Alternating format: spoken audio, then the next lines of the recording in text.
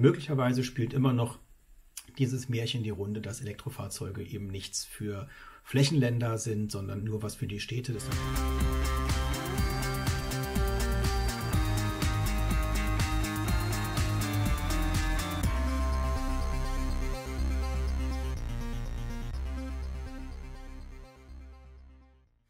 Hallo, hier ist Julian von der Interessengemeinschaft Elektromobilität. Super, dass ihr wieder eingeschaltet habt. Und ähm, ja, ich zeige euch jetzt mal einen Zeitungsartikel aus der Märkischen Allgemeine. Der ist schon ein paar Tage alt, der ist vom 29., Entschuldigung, vom 28. November. Und ähm, der Titel Brandenburg ist Schlusslicht bei Elektromobilität. Ich habe es euch hier auch mal eingeblendet. Ähm, ja, der hat mich jetzt ein bisschen ähm, motiviert, mal ein bisschen zu recherchieren. Das heißt, mir den Artikel mal genau anzugucken, genau die Gründe für diese Schlussfolgerung, die hier steht, mal anzugucken und auch mal ein bisschen nachzuforschen, ob das denn auch wirklich so ist, wie es da steht. Schauen wir uns mal den Artikel an. Ich habe euch den Artikel hier mal mh, hm, abfotografiert. Ihr könnt mal so ein bisschen mitlesen. Ähm, der Artikel beschreibt eigentlich folgende Situation. Auf der einen Seite ähm, beschreibt er die Situation, dass Brandenburg insbesondere in den Jahren 2008, 2009, 2010 große Fortschritte gemacht hat beim Aufbau erneuerbarer Energien und zwar ganz speziell im Bereich Windenergie. Hm, Windkraft ist also in Brandenburg nach wie vor, auch wenn der Ausbau sehr stark nachgelassen hat, ähm, die größte und die stärkste Energiequelle im Bereich der erneuerbaren Energien. Da können wir, denke ich, auch sehr, sehr stolz drauf sein. Und wir haben ja unter anderem auch in unserem Windkraftvideo, das verlinken wir euch auch in den Show Notes, gezeigt, dass das alles mit den ähm, Protesten gegen die Windkraft, weil die angeblich so laut und so schlimm sind und so viele Vögel töten und so viele Insekten töten und so viele Tiere vertreiben, dass das alles irgendwie ein bisschen herbeigedichtet ist und äh, nicht definitiv, definitiv nicht der Realität entspricht. Äh, das Problem ist allerdings, dass Brandenburg zwar im Bereich erneuerbare Energien nach wie vor sehr gut aufgestellt ist, aber im Bereich der Elektromobilität tatsächlich Schlusslicht in Deutschland ist. Man mag es kaum glauben, tatsächlich Schlusslicht. Ähm, es geht also hier ganz speziell um den Bereich Elektromobilität. Welche Förderprogramme gibt es da? Und ähm, wenn man sich mal das alles anguckt, dann sieht man eben einfach, dass Brandenburg hier im Bereich der E-Mobilität ziemlich auf dem letzten Platz liegt. Wollen wir uns mal angucken, ähm, hier ist auch nochmal dieses äh, Zitat aus dieser Studie. Brandenburg ist gut gestartet, hat aber stark an Boden verloren. Dann gucken wir doch einfach mal in diese Studie herein. Diese Studie habe ich euch auch verlinkt. Ihr findet die Studie und die Webseite dazu in den Show Notes unten. Und diese Grafik hier, die sieht ja erstmal auf den ersten Blick gar nicht so schlecht aus. Sie zeigt nämlich Brandenburg hier auf dem 1, 2, 3, 4, 5, auf dem sechsten Platz, wenn man sämtliche Indikatoren dieser Studie zusammennimmt. Schaut man aber ein bisschen weiter in der Studie, dann findet man hier im Kapitel 3214 Förderung der E-Mobilität Brandenburg richtig weit abgeschlagen, ganz weit unten auf dem allerletzten Platz. Und es gibt sogar noch mal einen deutlichen Abstand zu dem vorletzten, nämlich Sachsen, der hier mit 0,79 Punkten berechnet wurde und Brandenburg nur noch bei 0,48. Das heißt also, selbst ähm, die letzten, wenn man sich die letzten drei ähm, Bundesländer, das Saarland, Sachsen und Brandenburg hier anschaut, dann gibt es selbst zwischen dem letzten und dem vorletzten nochmal einen deutlichen Sprung nach unten. Berlin liegt in der Mitte mit 2,01 Punkten, Baden-Württemberg mit 3,23 Punkten ganz weit vorne. Ähm, was waren denn jetzt die Indikatoren speziell? Warum ist Brandenburg hier so abgerutscht oder richtig weggebrochen? Und zwar geht es ganz allgemein darum, wie wird in Brandenburg Elektromobilität gefördert? Wird es überhaupt gefördert? Gibt es irgendwelche Förderprogramme? Gibt es irgendwelche Ziele, die man sich gesetzt hat, speziell für die Elektromobilität? Und hier muss man einfach feststellen, dass Brandenburg hier eigentlich so gar nichts liefert. Und äh, hier nochmal die einzelnen, die Punkte nochmal der letzten drei. Brandenburg mit 0,48 Punkten ganz weit abgeschlagen.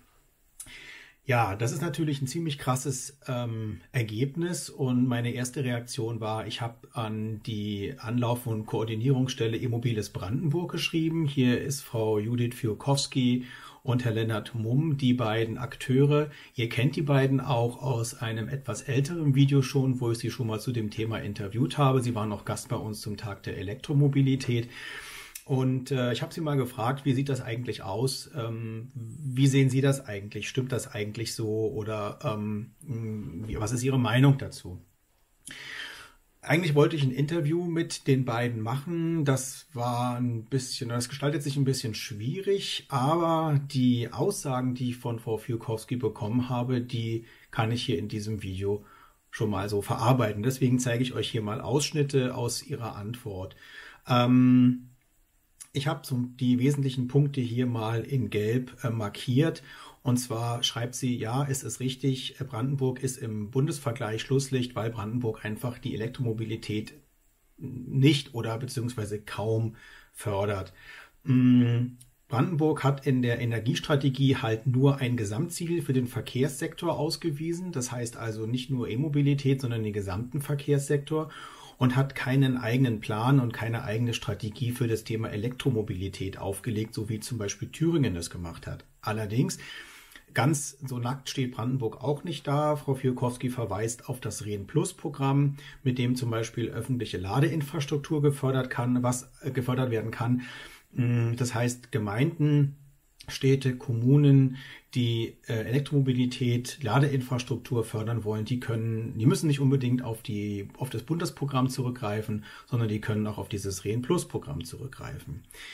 Ähm, was Brandenburg nicht hat, ist ein spezielles Förderprogramm oder schon spezielle Förderprogramme so in Berlin, zum Beispiel das WELMO, also wirtschaftsnahe Elektromobilität. So etwas gibt es in Brandenburg nicht. Das heißt also Firmen, Gewerbetreibende, Flottenbetreiber und so weiter bekommen in Brandenburg null Förderung in dem Bereich. Ähm, sie schreibt allerdings auch weiter, dass der Koalitionsvertrag der neuen Landesregierung in Brandenburg hier ähm, ein wenig Hoffnung macht, dass hier nochmal nachgearbeitet wird und es Strategien äh, Strategie erarbeitet werden soll, speziell für den Verkehr. Und man kann nur hoffen, dass dort dann auch E-Mobilität ähm, speziell ausgewiesen wird. Beim Vergleich Ladepunkte pro Anzahl Pkw merkt Frau Fiukowski an, dass man bei der Studie, die übrigens von der Agentur für erneuerbare Energien veröffentlicht wurde, anscheinend den gesamten äh, Pkw-Bestand herangezogen hat und ähm, sie macht darauf aufmerksam, oder stellt die Frage, ob das so sinnvoll ist, ob es nicht eigentlich sinnvoller wäre, nicht den gesamten Pkw-Bestand zur Anzahl der Ladestationen ins Verhältnis zu setzen, sondern ob es nicht besser wäre, Elektrofahrzeuge, also sprich äh, batterieelektrische Fahrzeuge und auch Plug-in-Hybride dort ins Verhältnis zu setzen, dann wäre es ein bisschen anders. Im ostdeutschen Vergleich liegt Brandenburg hier auf jeden Fall vorne. Das ist schon mal so ein kleiner Lichtblick. Wie sieht's aus mit Förderprogrammen oder mit Ladeinfrastruktur? Entschuldigung, mit Ladeinfrastruktur in Brandenburg. Da ist es so, es gibt also im Moment 379 öffentlich gemeldete Ladepunkte. Das sind nicht Ladesäulen. Das ist nicht die Anzahl an Ladesäulen. Ihr wisst ja selber, dass jeder Ladepunkt in der Regel zwei, wenn nicht sogar drei Anschlüsse hat. Und ähm, es gibt, das sind in der Regel oder in der überwiegenden Anzahl sind das Normalladepunkte, sprich AC-Ladepunkte mit 22 kW. Es gibt aber auch schon Schnelllader mit 50 kW und auch schon erste äh, Superschnellladestationen mit über 100 oder bis 150 kW an Autobahnen. Hier wird sie sicherlich die ähm, Ladeinfrastruktur von Fastnet ansprechen. Insgesamt werden 300 Ladesäulen ausgewiesen, die 24-7 genutzt werden können für Brandenburg, 200 weitere Ladesäulen, die nur zu bestimmten Öffnungszeiten verwendet werden können. Ähm ja, das Ganze ist auf jeden Fall ausbaufähig. Es ist ganz klar, wer die Karte von Going Electric kennt und sich Brandenburg anguckt, der sieht da noch viele, viele weiße Flecken. Frau Filkowski weist dann auch nochmal in ihrer Antwort auf das Rehen Plus Programm hin, mit dem hoffentlich in naher Zukunft noch viel, viel mehr Ladestationen in Brandenburg dann entstehen werden. Ähm, auf der Seite äh, E-Mobiles Brandenburg habe ich euch hier mal eingeblendet, äh, sind diese Programme noch einmal aufgeführt, auch mit entsprechenden Links, um sich weiter durchzuklicken. Und auf der Seite E-Mobiles Brandenburg gibt es natürlich auch nochmal die Beschreibung sämtlicher Bundesförderprogramme. Na gut.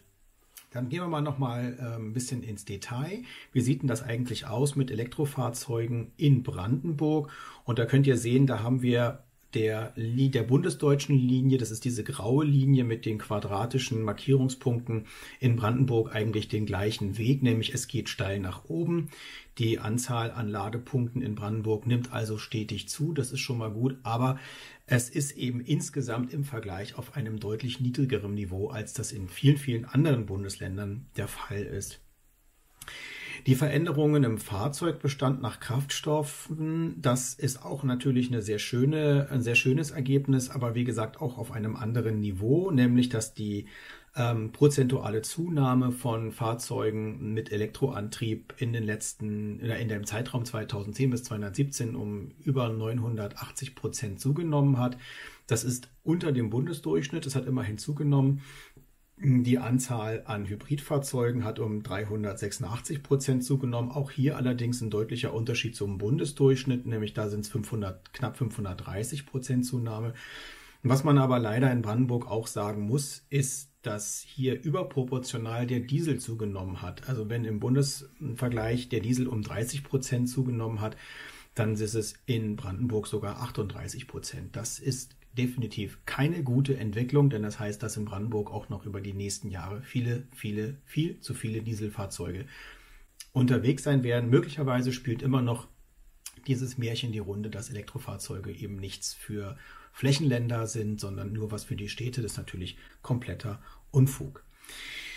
Ja, im Land Brandenburg äh, hatten wir also 2017 einen Bestand von rund 1,7 Millionen Fahrzeugen. Davon waren 500, knapp 580.000 Diesel, knapp 1,1 Millionen waren Benziner und 28.000 waren Fahrzeuge mit sogenannten alternativen Antrieben. Dazu gehört Flüssiggas. Ob das jetzt als alternativer Antrieb gelten kann, wage ich mal so ein bisschen in Zweifel zu ziehen.